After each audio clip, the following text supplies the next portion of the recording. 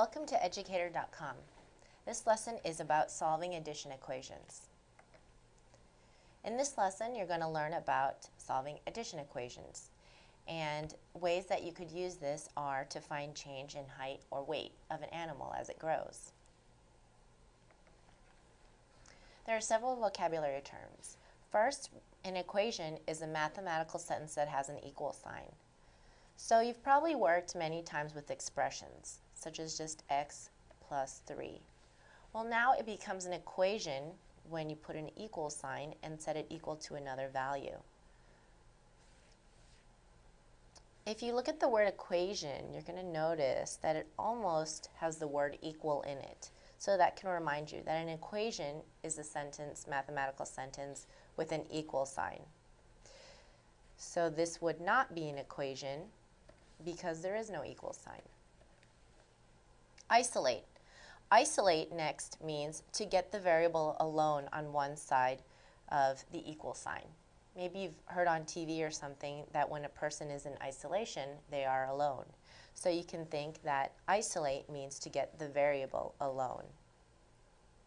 Inverse operations are operations that undo each other. Another way to think of inverse is opposite. Opposite operations. So operations that undo each other. For example, addition is the inverse to subtraction. And multiplication, oops, let me rewrite that. Multiplication is the inverse to division. Those are operations that undo each other. So if you add something and subtract it, you've, un, you've canceled out the operation. Let's look at the subtraction property of equality. The subtraction property of equality tells us that if you subtract the same value from each side of an equation, the two sides will remain equal. So for example, if 12 plus 4 equals 16, I have a mathematical equation, a mathematical sentence, which is an equation. And now let's subtract the same number from both sides. So for example, if I subtract 4 from both sides, 4 minus 4 is 0. I'm left with 12. And notice over here, 16 minus 4 is also 12. So when I've subtracted the same number from both sides, my answer will be the same. So I'm keeping it equal by doing the same thing to both sides. In algebraic terms, if you have a plus b equals c, and you subtract b, b minus b goes away to 0 and you have a, and now over here you have c minus b. So when you originally began with a plus b, you now have c minus b after you've subtracted b from both sides. Notice that the sides have changed. So remember to always subtract the same from both sides when you're solving equations because there's an equal sign in the equation and we want to perform equal operations to both sides. Let's try looking at inverse operations in order to solve addition problems. Uh, we have 38 plus x equals 42. And remember like we talked about, we want to isolate the variable. We want to get x alone because eventually if I can work it down where x is alone, I can see what it equals. So let's start off with 38 plus x equals 42. I have a positive 38. Remember that we're going to focus our attention on what's in front of the number. When there's nothing in front of the number, we know it's a positive value. We just assume that it's a positive. So the opposite of positive 38, or adding 38, is subtracting 38. Let's subtract 38. I'm using the subtraction property of equality because I'm subtracting the same number from both sides, subtracting equally. 38 minus 38 cancels out to 0, and I've isolated x because x is all alone here. And now I can subtract on this side borrow, 12 minus 8 is 4. So x equals 4. So I've isolated the variable, I've gotten it all alone, and now it reveals to me what the value of x is. It's a good idea to use substitution to check your answer.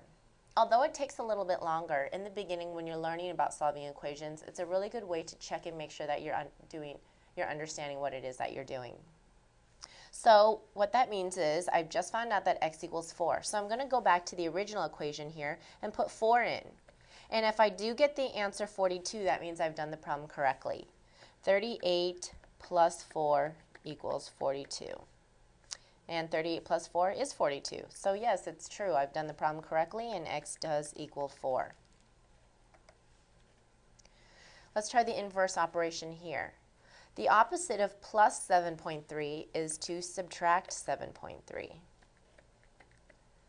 7.3 minus 7.3 cancels out to 0.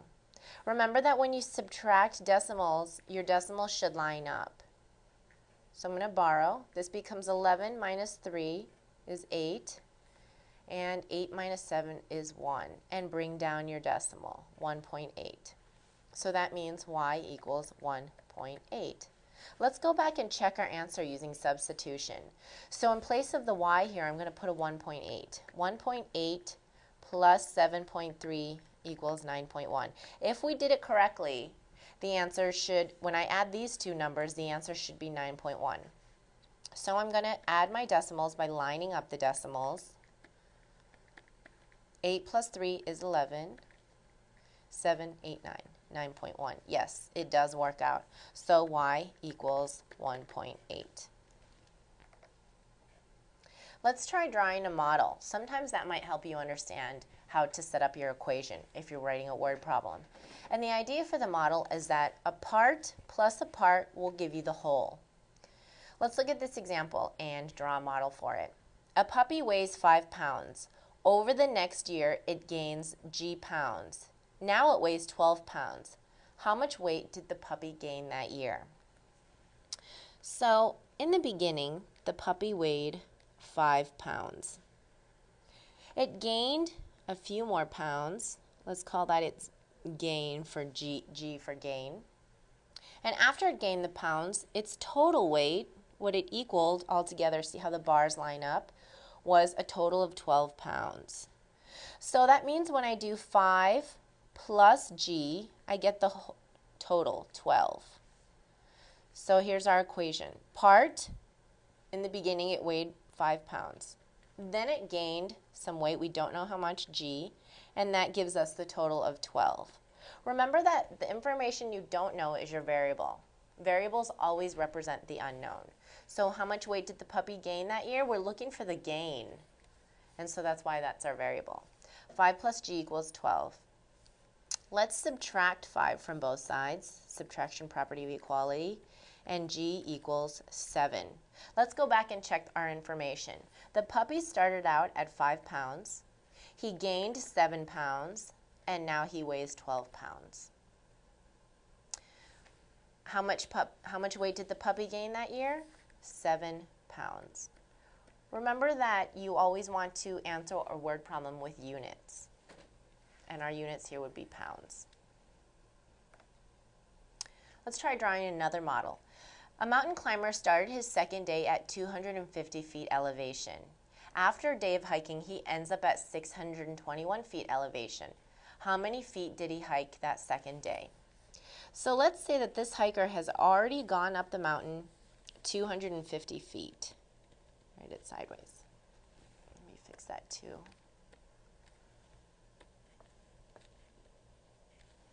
So he's gone up the mountain 250 feet. He stops there for uh, his nighttime rest. He camps out there. And on the second day, he continues hiking up. And we don't know, um, we don't know how much he hiked. I'll call that h for how far he hiked. You could call it any variable you want. But we do know that now he has reached a total of 621 feet. So once again, we have our part plus part equals whole. So the first part, this 250, plus the second part, the h, gives us the total, the 621. So our equation now is 250, the first day's hike, where he starts on the second day, plus this entire second day's hike, equals his total height, 621 feet. Let's subtract what he did the first day to reveal to us how much he hiked the second day. 250 minus 250 is 0. And h equals, his second day's hike equals 1. 12 minus 5 is 7. And 5 minus 2 is 3. So on his second day, he hiked 371 feet. Remember to include your unit of feet. Let's go back and check that that's what the problem was asking for. How many feet did he hike that second day? And yes, on the second day, he hiked 371 feet. Let's try some examples by writing equations without drawing the model. A store owner is selling a sweatshirt for $49.95. He paid $25 for the sweatshirt. How much profit is he making?